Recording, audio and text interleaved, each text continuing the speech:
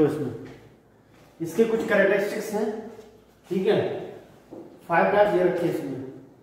ये ये चीज़ें इसमें फॉलो होती हैं, ठीक है? अगर ये चीज़ आप फॉलो नहीं करेंगे तो डिसीज़न हमेशा गलत होगी, ठीक है? इसमें फ़र्स्ट क्या है? अनऑर्डर सेट क्या अनऑर्डर सेट कोई ऑर्डर सीक्वेंस नहीं है उसमें। जैसे आपने पहले लिस्ट पढ़ा था, उसमें कोई सीक्वेंस नहीं था। टोपल पढ़ा था, उसमें कोई सीक्वेंस नहीं था। सेम इसी तरह भी इसमें कोई सीक्वेंस नहीं है। आप कुछ भी लिख दीजिए। ठीक है? लेकिन फॉर्मेट क्या होना चाहिए? की और वैल्यू का फॉर्मेट होना चाहिए। डिक्शनरी में क्या होता है? की और वैल्यू का फॉर्मेट होना चाहिए। ठीक है? तो ये चीज़ समझ आए अनऑर्डर सेट क्या होता है? ठीक है? Unsequence not a sequence same इसी का पैटर्न नॉट अ सीक्वेंस कोई सीक्वेंस नहीं है। आप, हमने बताया था पहले जो की हमने दिया उसको हम वैल्यू वैल्यू वैल्यू भी कर सकते हैं। ठीक है, हमने प्रीवियस क्लास में बताया था। तो जैसे हमने पहले ए लिया था, ठीक है अब उसको वैल्यू बना सकते हैं। तो इसमें कोई सीक्वेंस नहीं है नॉट अ सीक्वेंस आप पहले ए यहाँ लिख रहे थे लास्ट में लिख दो। ठीक है, इसका देखो, इसमें index wise not a number जो हम इंडेक्सिंग करते हैं, जैसे लिस्ट में इंडेक्स करते हैं टोपल में इंडेक्सिंग करते हैं ज़ीरो वन से स्टार्ट कर देते हैं। इंडेक्सिंग क्या होती है? ज़ीरो वन से स्टार्ट करते हैं। तो उसमें तो केवल एक ही वैल्यू होती है। अब इसमें दो चीज़ है की और वैल्यू है। तो वो इंडेक्स किससे करेगा? की किससे करता है? हमेशा याद रखना की से इंडेक्स करेगा। एक हमने क्वेश्चन भी कराया था। कराया था क्वेश्चन वो की से यूज़ कर रहा था। जैसे की आ रही थी वन ठीक है। और यहाँ पे हमने जैसे कोई एक वेरिएबल लिया था यहाँ दिया था हमने क्या? वन तो इंडेक्स क्या हमारा? यानी की वन पे कौन सी वैल्यू है? ये वैल्यू शो करेगा यहाँ पे। की हमारी क्या? वन ठीक है?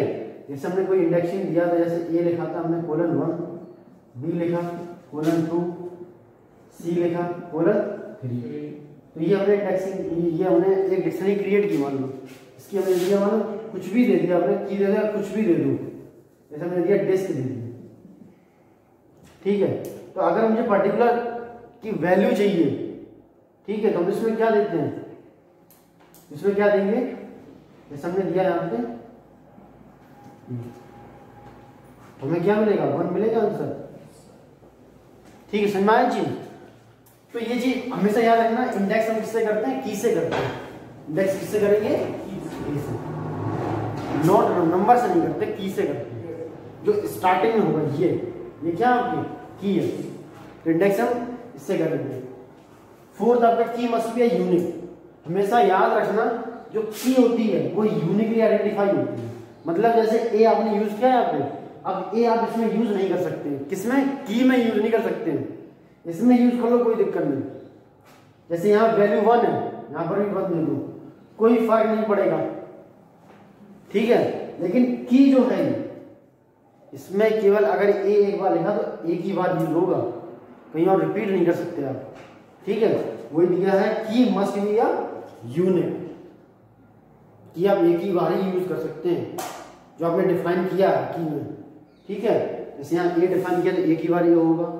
बी किया, और तुम कहते यहाँ पे ए कर दे तो ये गलत हो जाएगा। ठीक है? क्योंकि यूनिक है वो। लास्ट आपका डिक्शनरी म्यूटेबल इसका और कौन सी चीज़ म्यूटेबल होती है? लिस्ट लिस्ट क्या होती है? म्यूटेबल है। मतलब हम उसके अंदर चेंज कर सकते हैं। जैसे हम चेंज कर सकते हैं वैल्यू वगैरह चेंज कर सकते हैं। ऐसे इसमें हम लोग चेंज कर सकते हैं। अगर आपको इसकी वैल्यू चेंज करनी है तो चेंज कर सकते हैं हम लोग। यूज़ ऑफ़ इंडेक्स इंडेक्स से हम लोग यूज़ कर सकते हैं। सही माना चीज़? इसको नोट कर लो ऐसे फिर बाद में अपने लिख लेना।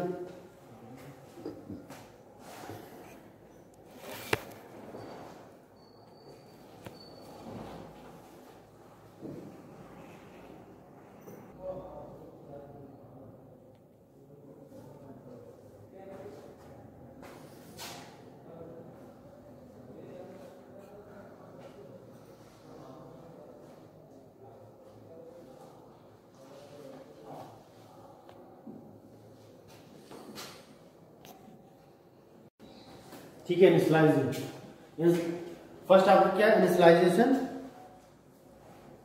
आ डिक्शनरी इनिशलाइज करना। डिक्शनरी पहले क्रिएट करनी है। शुरुआत में वैल्यू को क्रिएट करना है। फिर बाद में मॉडिफाई करते हैं। ठीक है? अब जैसे वाले इनिशलाइज कैसे करेंगे? इनिशलाइजिंग कैसे करेंगे? स्पेलिंग होती है? इन आई एन आई एन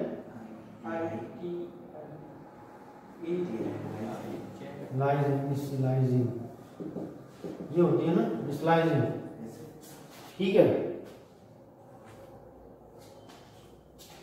पहले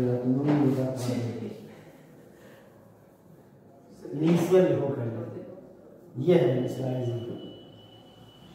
ठीक है? और डिक्शनरी कैसे इनिशियलाइज करते हैं? जो स्टार्टिंग हम लोग वैल्यू देते हैं की और वैल्यू देती है, वही होती है क्या? इनिशियलाइजिंग ठीक है, जैसे मतलब हमने डिस्क लिया यहाँ पे। यहाँ पे लिखा।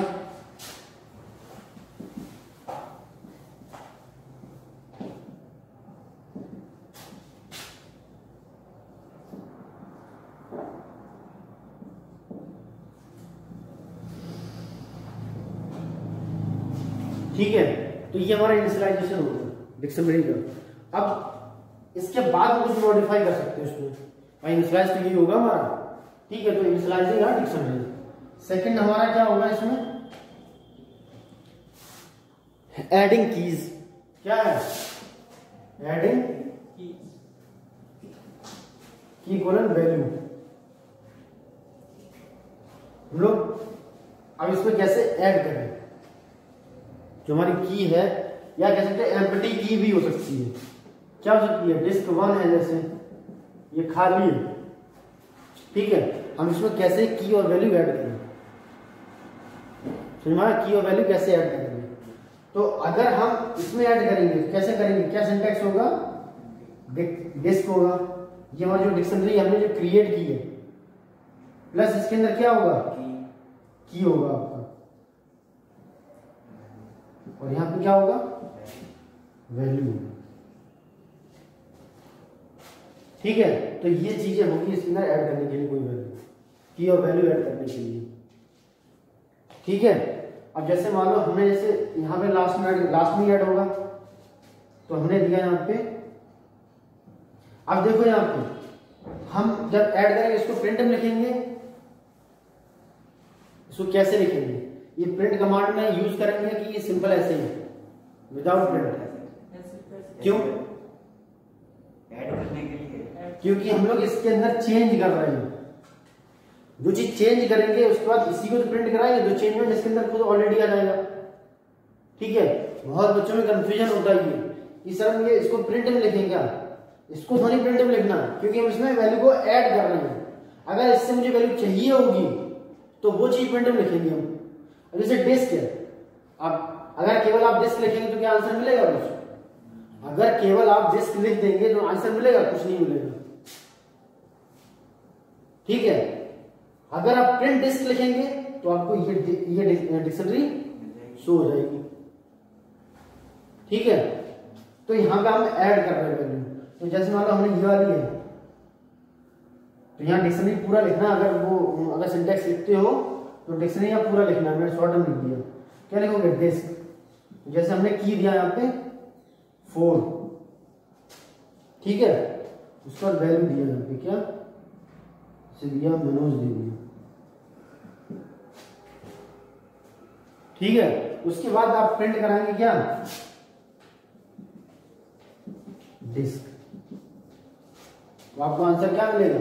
इसमें फोर मनोज ऐड हो जाएगा। ठीक है?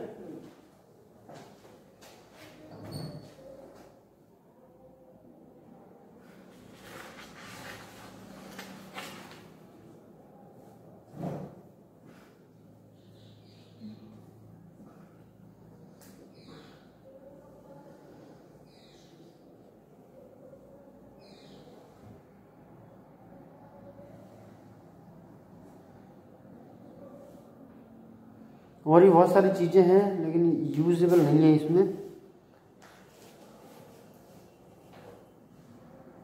इसमें मैपिंग क्या है? हम्म?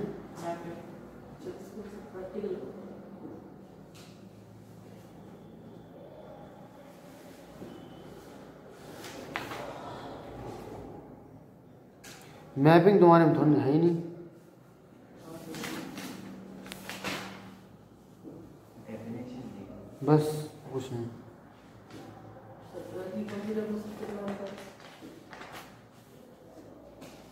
क्या कह रहे हो? ट्वेल्थ में क्या बता रहे हो?